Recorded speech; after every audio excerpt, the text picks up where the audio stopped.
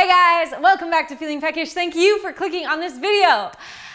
So something really weird happened last week. So I'm doing my laundry, pulling stuff out of the dryer, when I noticed I only have one of my good socks. And at first I was like, oh no, the dryer stole it, lol, and I just go about my business. Then I'm curious, so I started looking around the house. I look in the sock drawer, obviously, under the bed, in my boyfriend's laundry, any place that I could imagine that there might be a sock. And nothing. So now I'm really confused, and I go back to the dryer just to look one more time, and something happened. Oh my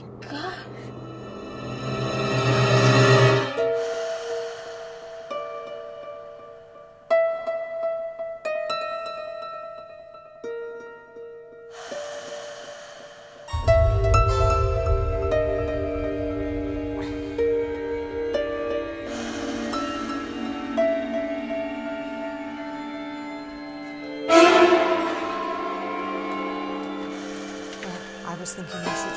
Now, see, I don't know that we should do that. Yes, but what do you think? What about? No, no, we couldn't. We shouldn't. Father, please. This ends now. I don't know. I'm getting cold feet. There's no time for that.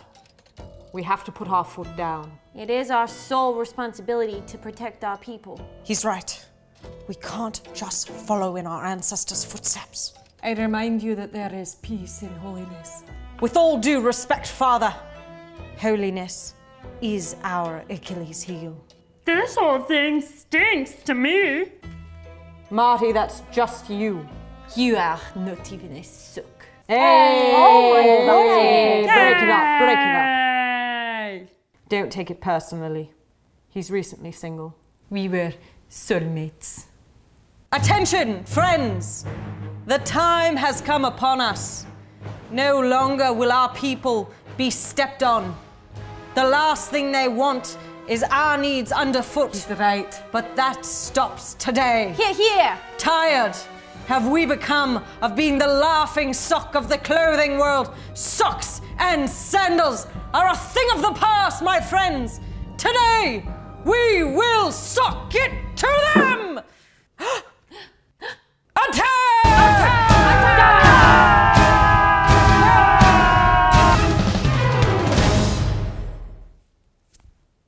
Super weird, right? I know. I made it back here through the dryer and everything's been pretty normal since, so I don't know.